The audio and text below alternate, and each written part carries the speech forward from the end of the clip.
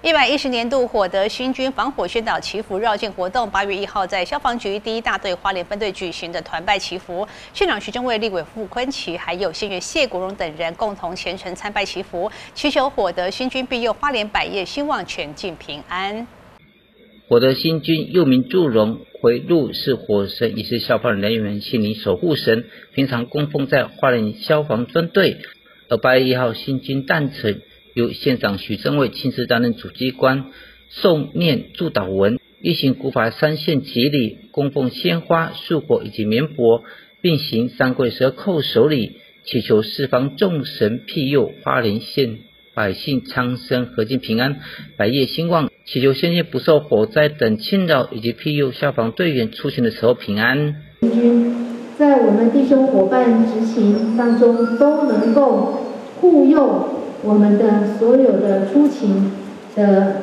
消防家族都能够一切顺利，都能够平安，都能够把任务完成。那我也要谢谢消防局长期以来对于我们消防的这个设施设备的提升，更要谢谢傅坤奇委员在时任县长的时候，对于我们东部成为。救救援的重要的基地，而破坏了非常非常远的我们整个自救的这个愿景，那我们现在无论是我们的花莲市分队，即将在八月还是九月完成，九月完成落成，吉安的特搜大队也会在同月来完成，而且来这个我想接牌，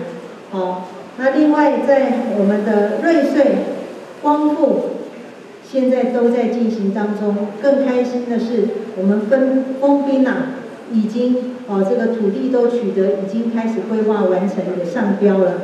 所以，我想种种的建设都要有一个远景和规划，有规划，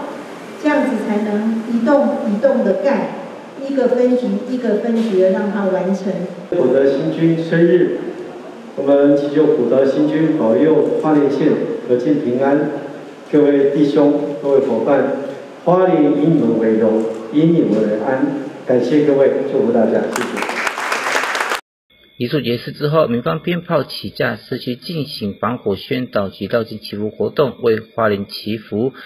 也加深民众防火的观念，而全体消防义消人员参拜祈福之后，也会继续坚守岗位，守护地方平安。希望所有民众能够无灾无难。记得九万块多少？